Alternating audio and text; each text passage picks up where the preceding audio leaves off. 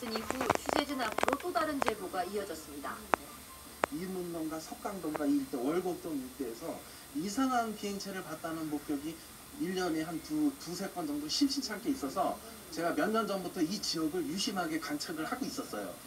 이 제보자는 비행체의 이동 루트를 주목했습니다. 이 라인이 지금 여기서부터 남쪽에서 이 북쪽으로 가는 라인이 청와대 라인이거든요. 그리고 이 지역은 비행이 할 수가 없는 비행 금지 구역으로 알고 있어요. 실제로 현장에 나가 확인해 보니 비행체 목격 지점에서 청와대로 이어지는 경로에는 각종 군사 관련 시설이 줄지어 있었습니다. 전문가도 심상치 않게 생각했습니다.